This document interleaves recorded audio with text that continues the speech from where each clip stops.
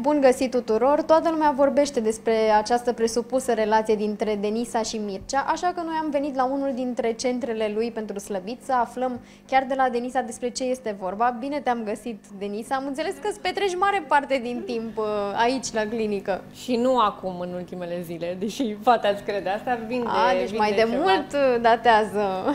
Da, sunt clientă și colaboratoare veche și eu și sora mea vine, multe colegi de ale noastre care vor să arate bine pe scenă și nu numai, și oameni de rând care au grijă de, de corpul lor uh, vin în locul ăsta pentru că uh, ne îngrijim, avem nevoie, mai ales acum după sărbători. Și uh, eu sunt una din persoanele care întotdeauna a avut probleme cu celulita, deși sunt o persoană slabă și poate n-ați crede, dar celulita nu are nicio legătură cu kilogramele. Și atunci uh, vin, fac vision body, mă antrenez uh, sus, um, am început antrenamente personale cu o antrenare foarte bună, este dublă campioană mondială la fitness și am febră musculară, abia urc scările, dar uh, uh, sunt ambițioasă pentru că îmi place să arăt bine și îmi place să arăt bine și pe scenă și în viața de zi cu zi. Dar acesta este singurul motiv pentru care vii aici, în centrele lui Mircea? Să știi că eu sunt un om mai egoist în mine și în primul rând vreau să fiu frumoasă pentru mine.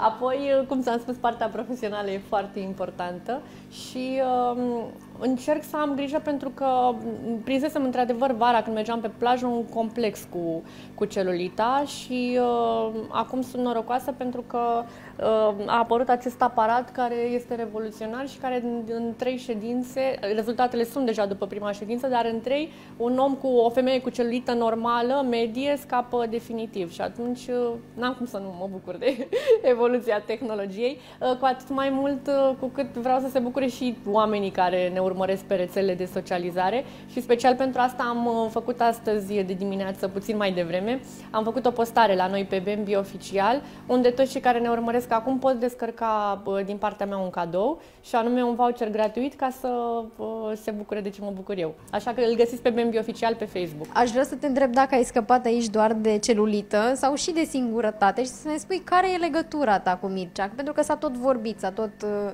vehiculat, cum că ați fi fost împreună și în Dubai. Care este realitatea?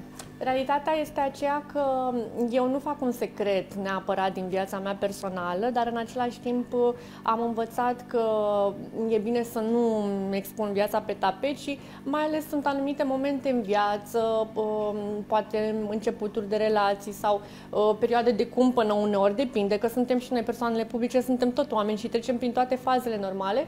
Sunt anumite relații, uh, anumite momente în care ai nevoie de timp tu cu tine, ai nevoie să-ți dai tu ție niște răspunsuri, să-ți dai tu seama ce se întâmplă cu tine înainte să poți să povestești despre lucrurile astea oamenilor și atunci eu am învățat că e bine perioadele astea să uh, fiu un pic mai egoistă, să le păstrez pentru mine și uh, să povestesc lucruri atunci când e cazul să fie povestite. Deci este vorba despre un început între voi doi.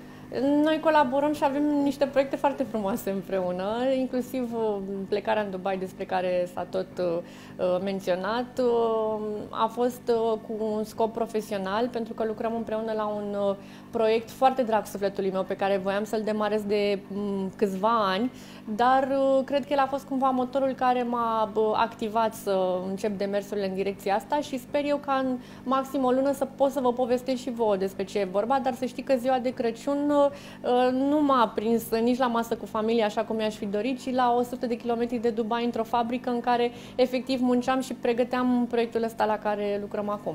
Dar îl aveai pe Mircea alături de tine. Să știi că am avut uh, alături de mine oamenii uh, cu care voi, uh, voi face acest proiect pentru că singură nu pot. Uh, m- Sunt implicată în foarte multe și mi este greu, pentru că e greu să încerc să faci și business uneori, cu toate că mie îmi place foarte mult zona asta de business și întotdeauna mi-am dorit ca pe lângă muzică să mai am uh, și o altă activitate.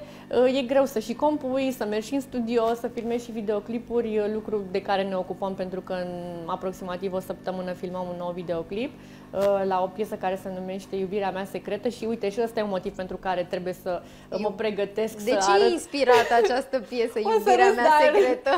O să râs, știu că acum o să pice pe mine, dar culmea e inspirată din viața Ralucăi. Mai mult. Așa că mai luați-o și pe ala întrebări. Și tu ai scris această piesă, nu? Eu Sau am cine? scris-o, dar sincer, da, este scrisă de mine. Uh, sincer, am scris-o inspira, uh, inspirându-mă din viața la Lucăi și știu că atât de mulți oameni se vor regăsi în melodia asta și abia așteptăm să filmăm videoclipul și să o lansăm. În paralel am mai compus o piesă pe care vreau să o lansez singură, într-un stil total diferit de ceea ce înseamnă Bambi. Lucrez la proiectul ăsta de, uh, care are legătură și cu Dubaiul și pe care abia aștept să vi-l arăt pentru că este, sunt convinsă că o să vă placă și că o să vă bucurați cu toții de el. Bine, voi oricum vă bucurați pentru mine că sunteți prietenii mei, da? Întotdeauna. Sper să se bucure și dușmanii. da. și asta facem. Facem foarte multe lucruri în același timp asta ne consumă, ne consumă foarte multă energie, concerte, colaborarea cu trupa Greek for You, proiectul de muzică grecească. Uh, avem un concept de show împreună cu muzică grecească, program noi, program ei, program împreună. Așa Ce că sunt mai foarte mulți bărbați an... în viața mea, să știi. și grecii ăștia doi de la Greek for You sunt foarte tineri și foarte frumoși și știi că am fost grecii de la Greek for You, că n-a scris presa nimic de ei, știi, te întreb de ce scrie presa, adică da, trebuie ar, să ar pornească trebui să totul de la un sâmbure de adevăr, nu? De obicei, așa se întâmplă. Este o sabie cu două tăișuri, pentru că de multe ori, dacă ales să nu dai detalii, poate fi riscant că oamenii pot începe să inventeze lucruri în lipsă de alte informații, dar Sigur că eu până la urmă am o viață socială normală. Eu ies în oraș, nu mă limitez de la nimic. Îmi desfășor viața așa cum consider eu că este normal, dar în același timp până nu simt că e momentul să arăt mai mult decât trebuie din uh, viața mea personală, nu o să o fac pentru că vreau să am învățat de câțiva ani să fac ceea ce simt și să mă gândesc să fiu eu într-o zonă de, de echilibru. Să știi că noi te așteptăm cu mare drag atunci când vrei să ne dai mai multe detalii despre această relație. Mulțumim mult că ne-ai primit și astăzi și să ne dai toate aceste lămuriri. Și te aștept să vii acum. Lasă, o, o mai lăsați pe Andra un pic să mai rămână aici cu noi, da?